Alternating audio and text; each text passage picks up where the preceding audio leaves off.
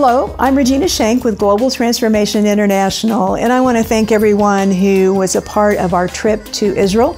Some of you prayed for us, some of you gave finances into that trip, and it's life changing for me, and I believe for others who were there on the land where Jesus walked. We were able to go to many of the sites that were actually uh, these sites where those things happened.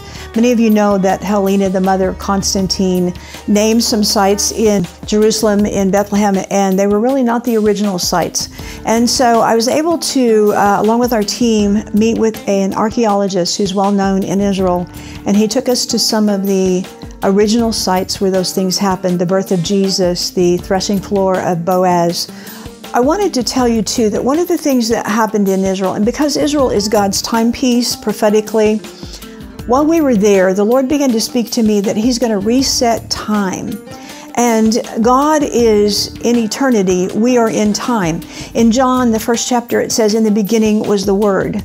And one time the Lord spoke to me and He said, In the beginning of what? And I wasn't sure what He was talking about. But in that scripture, it's talking about in the beginning of time. When time began, Jesus was there, the Word was there. And so we live in time, God lives in eternity. And so it's time for us to step into the timing of the Lord in our lives. And when I got to Israel, my watch quit. You can see I don't have it on today because it's still not working. And when I got there, clocks became very important. Uh, I came downstairs in the hotel we were staying at, and there on the wall was a clock that had the, night, the time 1212. And when you look in Revelation 1212, it talks about the devil is going about roaring because he knows his time is short. And so there is a time for everything. We also know that in the fullness of time, Jesus was born. And so he was born the fullness of time. I believe we're coming up on another fullness of time. And how many of you know that the Bible has prophesied that in the last days, God will pour out His Spirit on all flesh?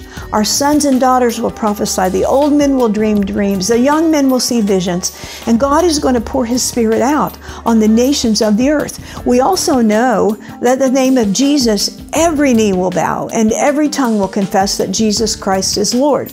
I believe we're coming to a fullness of time for the outpouring of the Spirit of God. I want my time reset. I want to be in the timing of the Lord in everything that I do and everything that I say. And I know many of you the same way. And so God is resetting time, and we want to be a part of that. I believe the Back to Jerusalem movement has happened.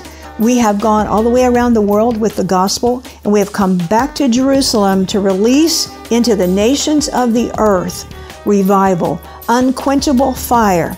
I believe the nations of the earth are coming to know Jesus Christ. And we get to be a part of the outpouring of that Spirit. We are seeing healings, we're seeing deliverances, we're seeing people come to Jesus. And I want you to know that revival is on the horizon. I am saying to you, as the body of Christ, wake up. God wants to use you in this next revival. If you're not awake, I am saying that God is going to shake you. He's going to get you back where you need to be so that you can be positioned for this outpouring of the Spirit. You don't want to miss it. You're here for a reason, you're alive for a reason. God has purposed you to be alive in this last outpouring, and He wants you to be a part of it. So rise up now and be those people whose clocks are in the timing of the Lord and you are walking in the fullness of time for this outpouring of the Spirit. From Jerusalem, we decreed revival fires into the nations of the earth.